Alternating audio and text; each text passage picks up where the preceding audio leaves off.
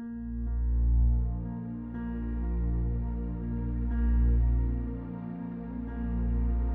Welcome to the world of the Thunder Dragon, a country that has a proud and traditional people that have remained true to their heritage. A land that sounds as if it's some sort of fairy tale land that one would go on an adventure. But here on FTD Facts, we are going on an adventure again, but not talking about a fairy tale, but to return to talk about the great country of Bhutan. And in our last video, some of you guys had some really nice things to say about Bhutan, so we're doing a part two, such as Kaiser Ahmed that said, I love Love and respect from Bangladesh. We had Ashika Raut who said, finally, Bhutan is a beautiful country, lots of love from India, and that had like 156 thumbs up. Also, Abhishek Benia said, Bhutan always makes me feel like home, love from Nepal. And Rinzin Lamo said, thank you for doing Bhutan. And considering we're turning talking about the land of the Thunder Dragon, I want to know, do you remember your first time you were ever afraid of thunder? Can you describe that experience to me down there?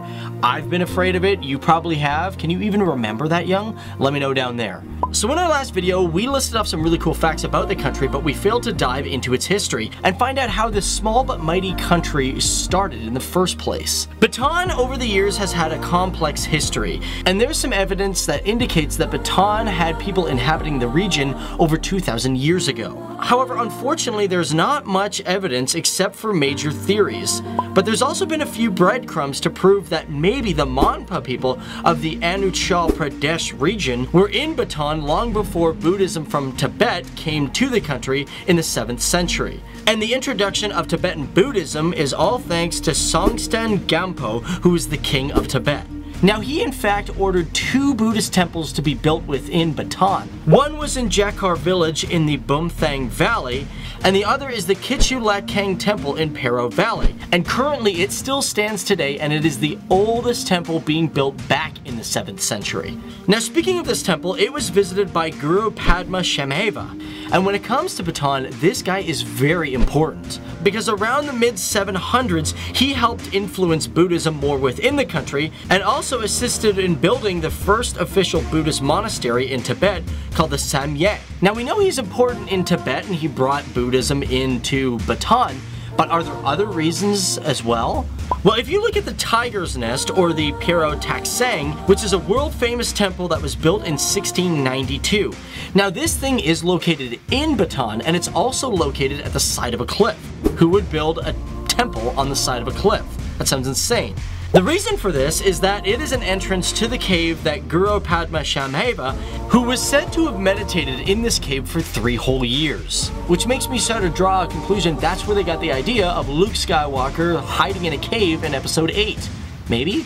Now as for this temple, it is quite a climb as it sits 10,240 feet above sea level, and to climb up it, you need to go 3,000 feet above the Paro Valley. However, there are multiple directions to come from when going to the temple. But as you climb or go through the forest from its rear, cloud cover will give it an eerie feeling as you approach it. And at this temple, during the months of March and April is a very special celebration. This is Tshechu, which is a festival that honors Padma And during these festivals, the main focus are intricate cultural traditional dances called cham dances, which are vignettes that tell short stories of the life of Padmasambhava. Now let's jump back to the history of Bhutan because one downside is that most of its history and records were destroyed during a really bad fire. During the years of the 1900s and before, the city of Punakha served as capital until it was moved to Thimphu in 1955, which ironically is only about 72 kilometers away, and that might not seem very long, but it does take like three hours to get there because there's so many winding roads.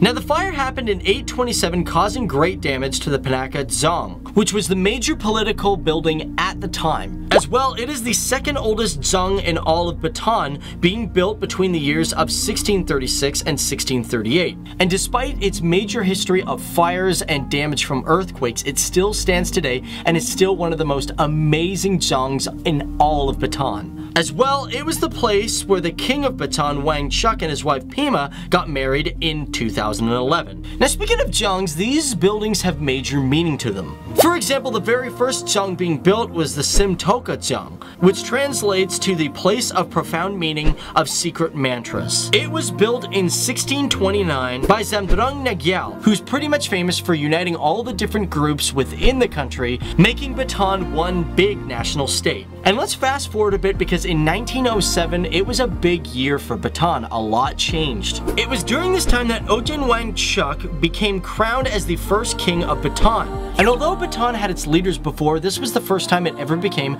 a Buddhist monarchy. And it's also interesting to know that Wangchuck had been ruling for over a decade before 1907, being known as Druk Desi when he took claim after his father died in 1885. Now with this new monarchy, the British had become interested in Bhutan. Thus, Bhutan signed the Treaty of Punakha in 1910. Now, this created an alliance with the British, in which the British then handled all the foreign affairs, making Bhutan an India princely state. Now, this didn't even last half a century because on August 8th of 1949, Bhutan followed with its other South Asian countries gaining its independence from the United Kingdom, becoming its own country. And although today Bhutan is its own independent nation, it is a very peaceful one that has great respect for its neighbors. This is a country that is quite landlocked and because of that it has no navy nor air force. However, it does have several different branches of its military. And that includes the Bhutan Police, the Royal Bhutan Army, the Royal Bhutan Bodyguards, and the Royal Bhutan Militia. And because Bhutan has great relationships with India, most of its military forces are trained from Indian forces. As well, Bhutan's air force is provided by this big brother to the west. And to this day within the Royal Bhutan Army, they have only about 8,000 personnel. With about another 8,000 in other branches, it spends about $13.7 million on its military a year. And if you want to be a soldier and you're living within the country, well, it's completely voluntary, you just have to be 18 years old. And even though the country does not have a powerful and large army, it doesn't need that to be considered great. Because Bhutan has many valleys and is also part of the Himalayas, it is a hotspot for biodiversity. Currently, they have over 5,400 species of plants and 770 bird species. And that's not even getting close to the amount of mammals they have as well, because they have a plethora of many different animals, which a big majority of them are primates. And in our last video, we did mention how Bhutan has 60% of its land dedicated to green space. But to add to that, in 2014, they began to push for more electric cars so they could be more green. And currently, one out of 10 vehicles on the road are running on electricity. Now, one thing you may also notice if you've ever been to Bhutan, you may notice on some houses there are photos or drawings of dicks. That's right, the photos of a phallus or a penis are generally seen on houses throughout the country. However, most of them are not allowed in urban areas. And no, it's not some teenager that's just spraying these on for a practical joke like we would see in North America.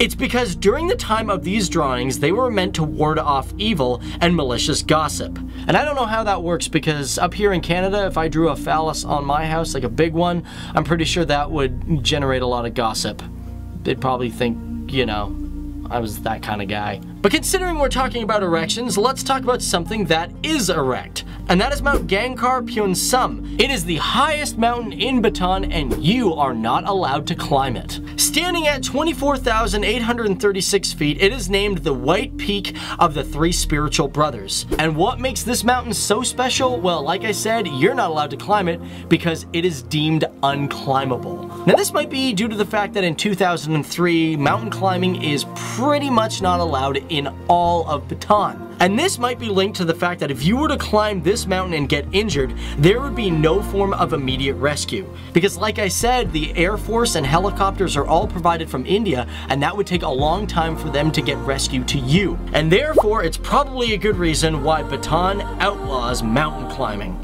And to close it all off, considering we're talking about its relationship with India, this is a country that has diplomatic relations with 52 countries around the world, creating not just good relationships with its immediate neighbors, but countries on the other side of the planet. But that's it for today's episode. I hope you guys really did enjoy and learned a lot more about the interesting country known as Bhutan. But you know what? My name's Dave Walpole, guys, and it has been amazing learning about this country. I'm not gonna lie, I think this is way better than the first one because we really dove into some history and learned more about its people. And speaking of which, if you guys have a recommendation for a future FTD Facts video and it's your first time here, put it down here. For all you guys that are returning, I know you hear it from us a million times. We'll, we'll try to tone it down on the recommendations reminders for everybody, but for now, we'll just keep telling everybody. Also, if you guys want to help us out even more, be sure to check out our Patreon because we have exclusive content that you guys won't get on YouTube, such as extra videos that nobody else is going to see but you. And last but not least, check out Grammarly.com. You can get a free app to increase your grammar. It's really cool. It's helpful even to me.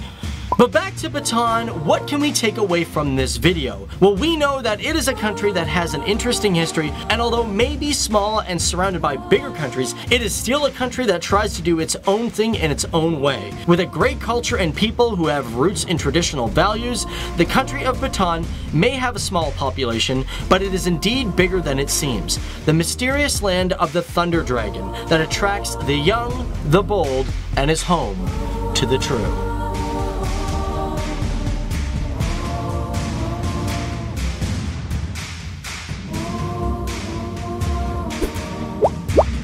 Hey guys, thanks again for watching. If you like this video and you want to know more about Bhutan, but you missed our first one, check it out right there. You can also sign up for our Grammarly. You can also do our Patreon thing. The links for that are going to be down below.